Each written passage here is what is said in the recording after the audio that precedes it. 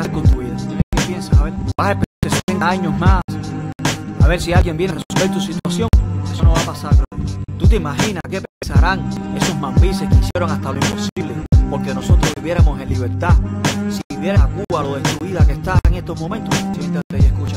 Y para conciencia, ¿qué dirá José Martí, Maceo, Quintín, Bandera y todos aquellos que dieron por Cuba su vida Si supieran que mi isla hoy la tiene secuestrada, un canalla que la humilla y el pueblo no la libera. Si Agramonte lo supiera, Máximo Gómez Mariana, después de defender a mi bandera cubana, si vieran que un dictador a gobernarla se aferra y el sacrificio del ejército Mampí lo echó por tierra, ¿qué dirá Julio Sanguilí? Calixto García, si vieran cómo la Cuba que amaron está destruida, yo estoy más que convencido que si dependiera de ellos, se volvería a escuchar aquel toque de adegüello. ¿Qué diría Juan País, José Antonio Echevarría?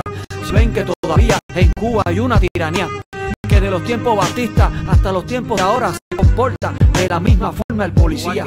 ¿Qué pensarán de nosotros todos aquellos patriotas si vieran que de libertad no tenemos ni una gota? Que por ser indiferentes permitimos tantos años que unos malditos bandidos a Cuba le hicieran daño y me pregunto.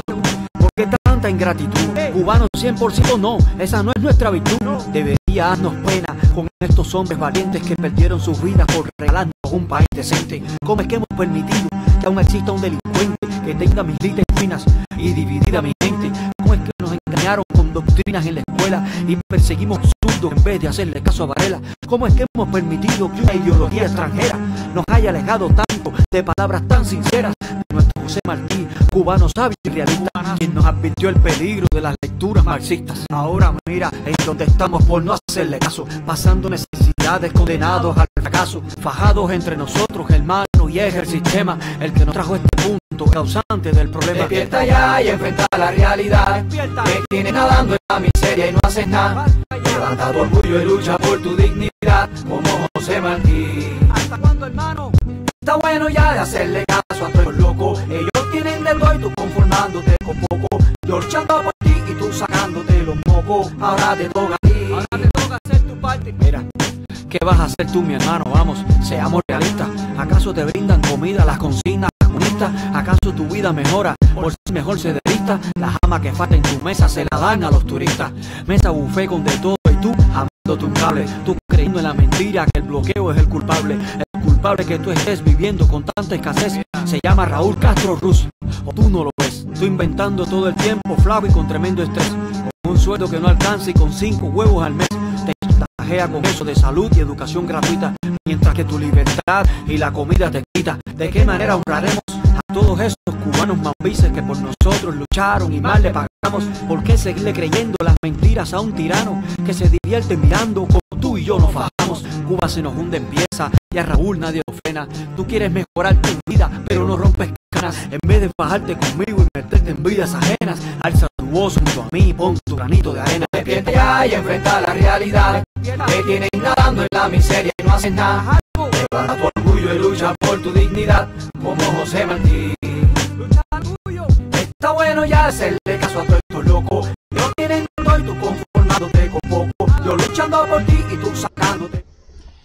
Buenos días por la mañana. Esa era, era Michelle Marichal cantando Despierta ya. No me parecía más adecuada a ninguna otra canción para comenzar Despierta Cuba de hoy. Yo soy Luis Santiesteban y les doy la bienvenida a este programa porque hay una perreta en La Habana, una perreta en la familia Castro, en el régimen, en la dictadura, en el gobierno, como usted le quiera llamar. Eh, anda como una especie de pánico. Er- eh, como están como en desesperación porque hay una, una serie de televisión en Miami que está desmontando uno por uno todos los mitos del castrismo y descubriendo todas las mentiras del castrismo. Eh, están como desesperados al punto de que están mandando periodistas, eh, tal vez amenazando periodistas para que hagan articulillos eh, copiados y pegados de otros anteriores y con un lenguaje granmense que no me refiero a la provincia sino al periódico que yo me quedo sorprendida. Eh, sí, maravilloso Marichal. El despierta ya de Marichal. Tengo eh, conectada aquí, vamos a ver, Babi, por supuesto, en un momentico estamos hablando. Buenos días, Mayra González, desde el mediodía alemán. Tengan un, un lindo día, dice Mayra, gracias. Pataleta, dice Babi, efectivamente tienen pataleta. Ariancito está saliendo para el trabajo. Arián, escúchanos. Deja de estar transmitiendo en vivo que te vi. Ay, perdonen que estoy con mi gripe aún. Ricardo Cubano dice hola, buenos días. Háganme un comentario, porque si no son amigos míos en Facebook, pues no los veo, no sé quiénes están conectados y veo que hay un montón de gente conectada. Eh, díganme, díganme hola o algo para poderlos saludar. Bueno, les digo que Leyendas del Exilio es un docudrama que eh, está saliendo al aire los domingos en Miami a las 9 de la noche por América TV y ha causado ya con apenas tres capítulos o, cuatro capítulos, ha causado sensación. Ha roto récord de audiencia en el canal 41. Todo el mundo está pendiente los domingos de Leyendas del Exilio. Y están eh, rompiendo con, no solo con los récords de audiencia, sino también con los mitos que tanto se han repetido durante años eh, por el castrismo y toda la maquinaria propagandística que ellos tienen alrededor del mundo. En Miami, pero también en España, también en Latinoamérica. Ellos tienen eh, todo esto. Quiero ponerles eh, un, fragmento pequeñito de lo que va a ser Leyendas del Exilio la semana, esta semana que viene, o sea, este domingo próximo, para que ustedes vean por qué causa tanto pánico en La Habana esta serie. Nadie podría sospechar que era un hombre de acción. A todo el pueblo de Cuba en general, a continuar la lucha contra Castro. Uno los más audaces. Eso fue un golpe muy duro al clandestinaje cubano. El editor literario más importante del exilio. Ningún país debe poner en manos de otro la libertad de su padre. Juan Manuel Salvat en Leyendas del Exilio. El próximo domingo a las 9 por América TV.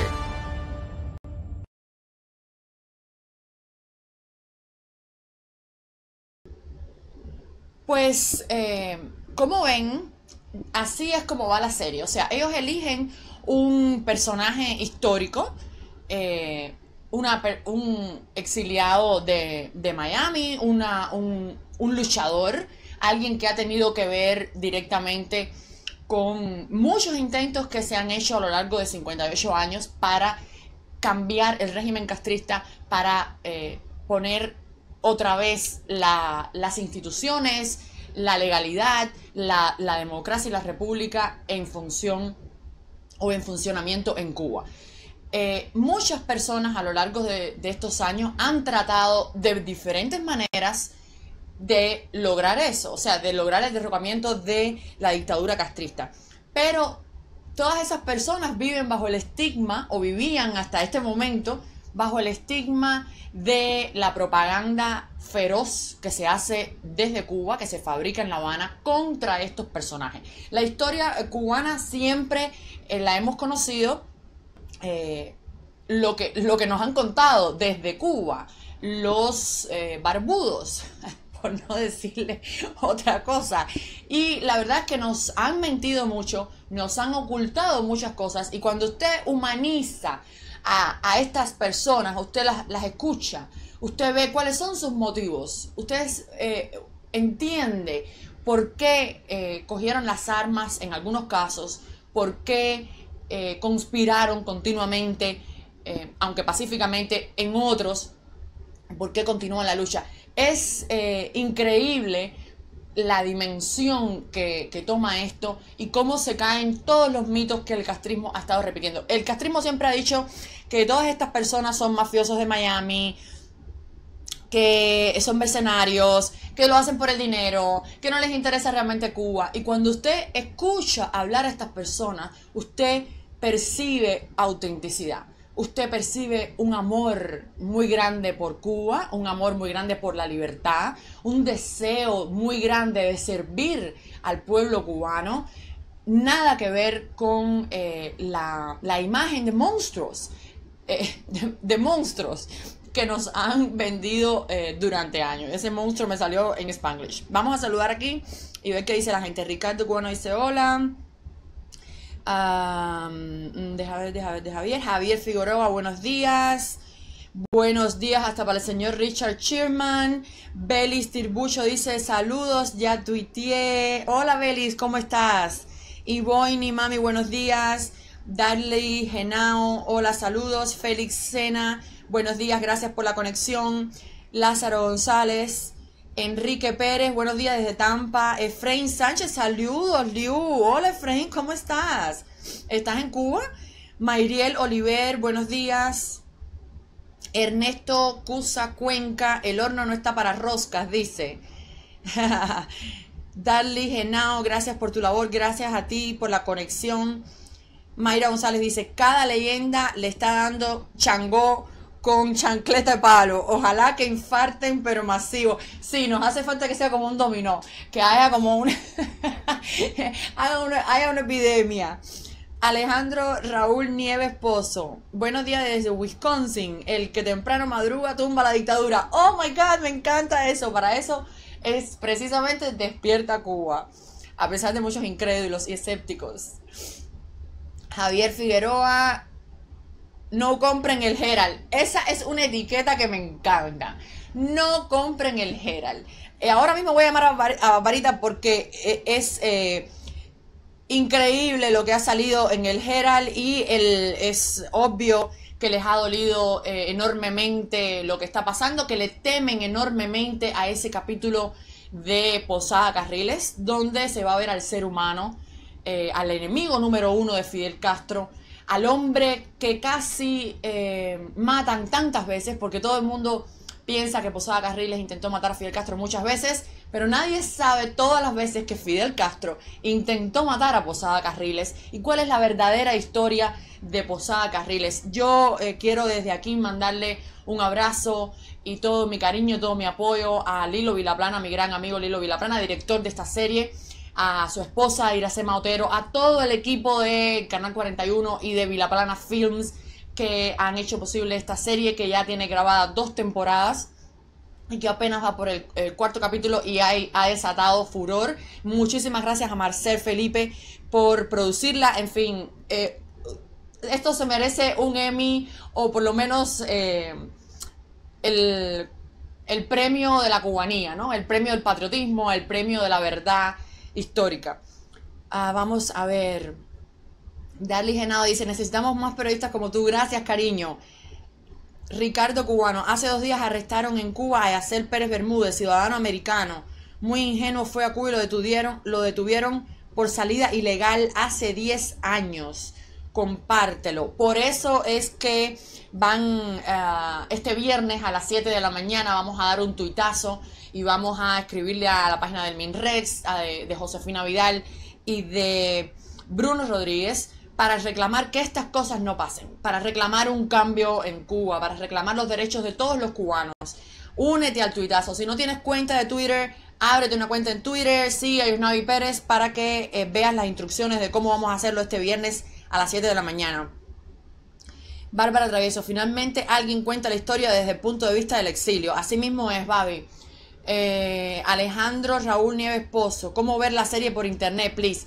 Bueno, para verla por internet tienes que conectarte a la página de América TV en vivo, eh, que lo transmite los domingos a las 9 de la noche, hora de Cuba. Tienes que conectarte a esa hora para poder verlo porque de momento no está en internet, solo se transmite eh, los domingos a las 9 de la noche y si, te lo pierdes, pues no lo puedes ver. Así que conéctate, la página es América TV eh, creo que es .com, pero de todas formas, busca en Google América TV en vivo y te vas a llevar directamente a la página esa.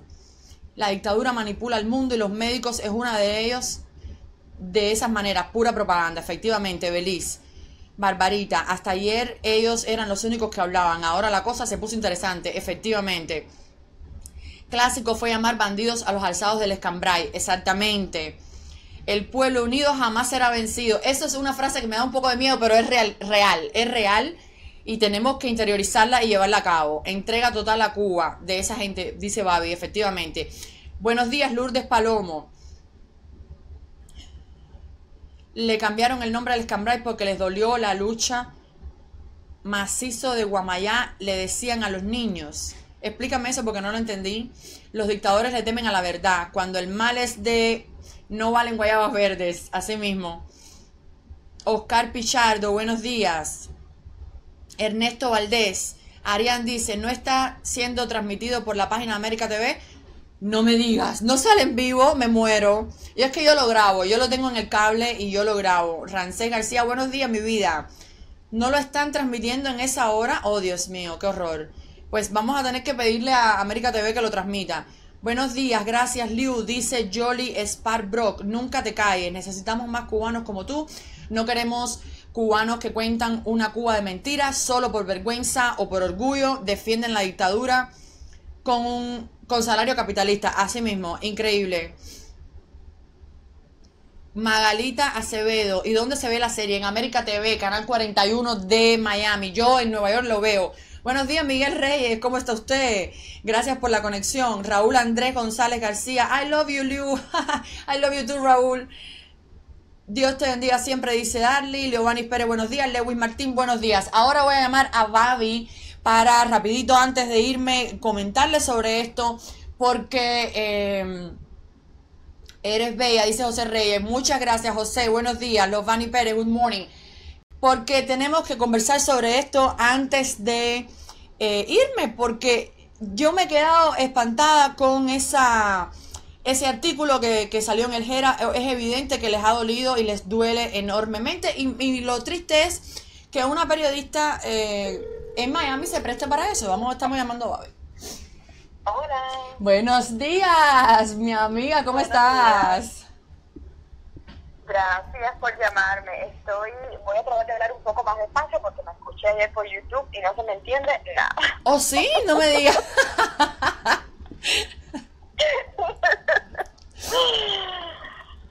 Entonces, viste la pataleta que está, que está formando la serie, nosotros no sabíamos qué iba a pasar.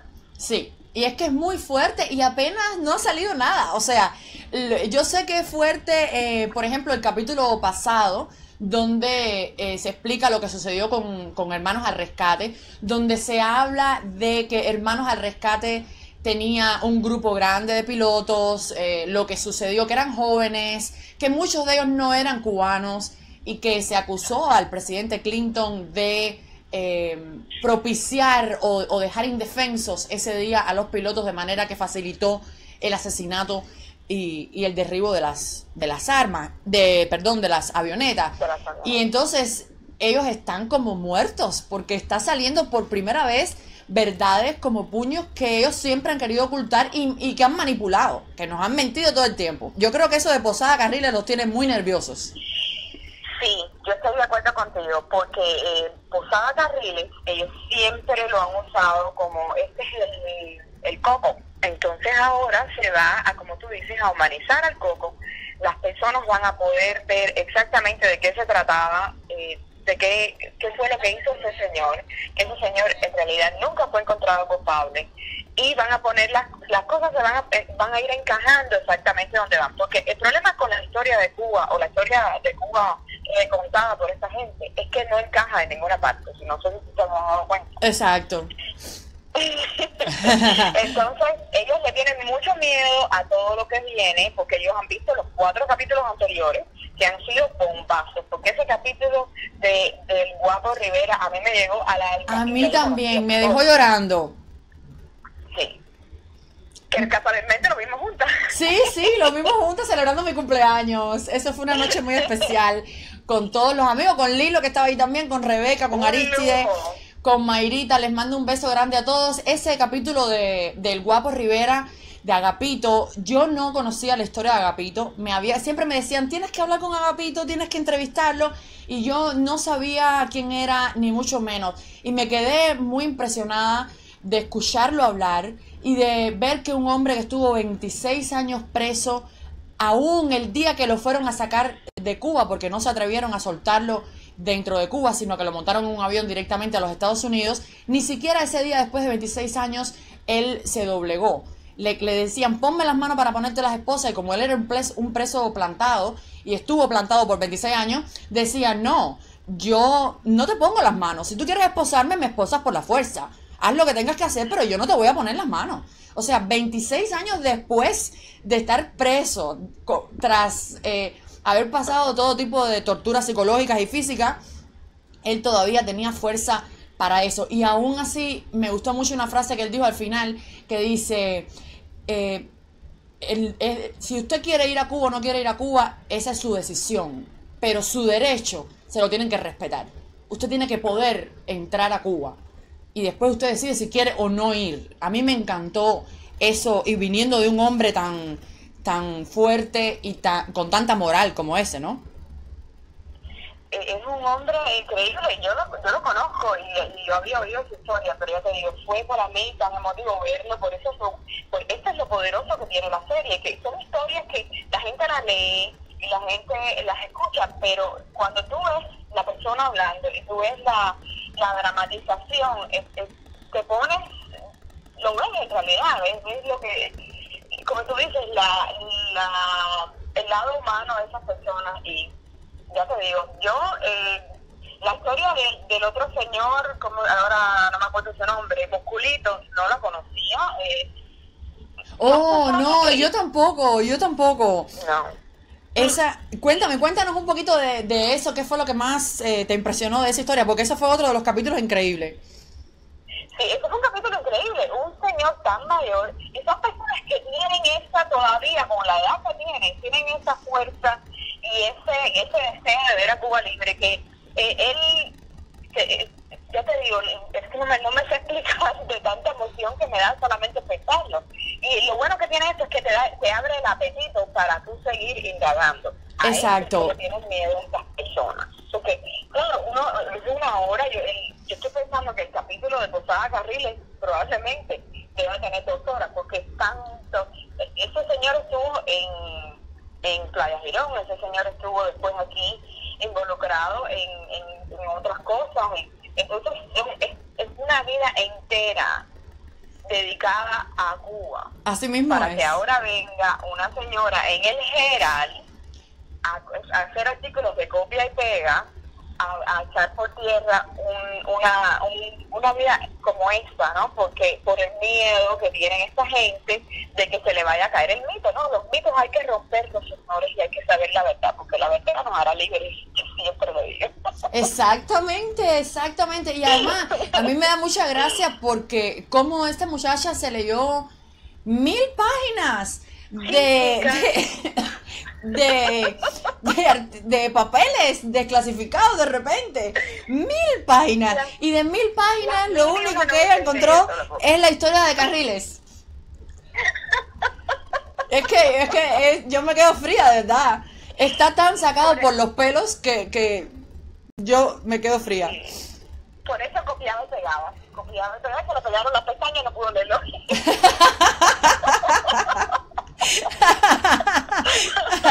ella definitivamente, a mí me da pena porque ella ha hecho cosas, eh, ha hecho algunas entrevistas buenas y, es una muchacha, yo no la conozco, ¿no? Pero la verdad es que me llama poderosamente la atención ese, no sé si es izquierdismo eh, que tiene el Herald o ya es eh, maldad enviada desde la sección 21 de Cuba.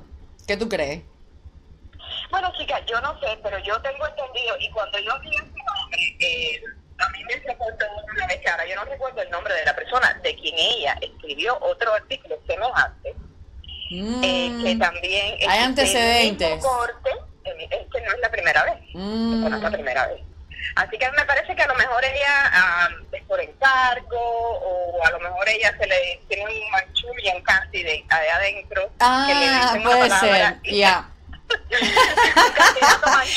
Que la activa, la activa. se la activa, exacto.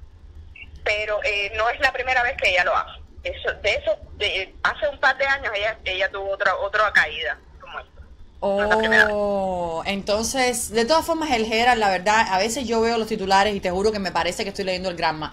Y es una pena porque fue un periódico eh, en su momento que, que tuvo un éxito brutal, que tenía miles de ejemplares, una tirada de miles de ejemplares, incluso en días muertos entre semana. eh, que, otros periódicos pues no tenían grandes tiradas y el Herald siempre tuvo una gran eh, cantidad de lectores, pero la verdad es que últimamente, desde hace unos años para acá, eh, está dejando mucho que desear con esas cosas que está haciendo. ¿Quién estará dirigiendo el Herald? ¿Será Alejandro Castro Espín? No, eso es un problema que está sucediendo eh, general, ¿no? Porque lo estamos mirando con la prensa eh, de todo tipo, eh, la prensa plana, la prensa la televisión, la, muchas emisoras de radio también caen en eh, lo que se llama la ser políticamente correcto y estar de un solo lado y ver solamente lo que ellos quieren y, y hablar de lo que ellos quieren. Eh, esto no es nada nuevo, esto es la, la- definitivamente el periodismo ha caído en un bache y todo el mundo se ha dado cuenta de eso. Sí. Y el, Herald- el nuevo Sí, y, y no solo, claro, no es una excepción. excepción. El, el periodismo tradicional está eh, pasando por una crisis, una transformación y está tiene que re- reinventarse o a- adaptarse a los nuevos tiempos porque corre más rápido la tecnología que su capacidad de adaptación. Pero también hay un punto que yo creo que influye mucho en este tema y es que la izquierda general en Estados Unidos se ha radicalizado bastante y, y vemos lo vemos con cuando ves un candidato a la presidencia como Bernie Sanders que es eh, un, un comunista populista en, en ciernes y, y lo ves que llega a ese punto de, de ser candidato y habla cosas tan tan bárbaras como, como dijo Fidel Castro en un momento determinado. Y tú ves que la izquierda en Estados Unidos eh, se, ha- se, está radicalizando y, y, demócratas, mi- o sea, los propios demócratas se están dando cuenta de eso y, es- y están eh, viendo, incluso tengo una persona que me ha dicho, es que, oye, menos mal que no salió Hillary porque el Partido Demócrata es comunista.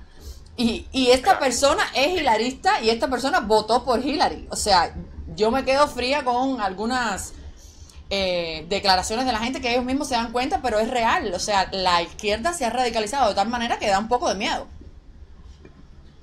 Sí, sí, no, no, y ya obviamente ya esa persona no es más hilari- hilarista, como tú dices. No, no, ya no, ya no. Exacto, ya. eh, las personas van abriendo los ojos a medida que se van dando cuenta de que eh, de hacia dónde van los tiros, ¿no? Eh, Claro. Es imposible, ya por eso la gente no quiere leer a, a, a Nuevo Era ni a Miami Era por ese tipo de ¿Cómo? que ya por eso la gente no quiere, no, no le hace caso a Miami Exacto. Era ni a Nuevo Era Exactamente, por ese tipo de exactamente. artículos y por ese- que, que lo que hacen es ofender la inteligencia del sector. Exactamente. Del- No, y que además sabes que están completamente parcializados y, y radicalizados a la izquierda. O sea, que no puedes confiar en el punto de vista porque no tienen, eh, digamos, columnistas con otro punto de vista, con otro punto de vista. Que tú digas, bueno, ok, voy a leer a, a, a otra persona, ¿no? Entonces, o, o gente que tenga la capacidad o la inteligencia para poder hacer un análisis al margen de su propia opinión eh, o ideología, ¿no? Es, es complicado. Por eso, pues efectivamente han perdido todos los lectores que han perdido. Babi, se nos fue el tiempo porque hoy eh, me atrasé un poquito, pero mañana volvemos a seguirle dando a Chucho a la, a la dictadura desde aquí, desde Despierta Cuba. Mis amigos, a ustedes les digo, pueden, pueden ir a la página de YouTube, a mi página de YouTube, Luis Esteban, para descargar el, el video. Si gustan, espero que tengan un lindo día, que tengan mucha suerte y que sean muy libres. Esto es Despierta Cuba. Yo soy Luz Esteban y mañana los espero a las 7 de la mañana aquí en mi Facebook Live. Bye bye.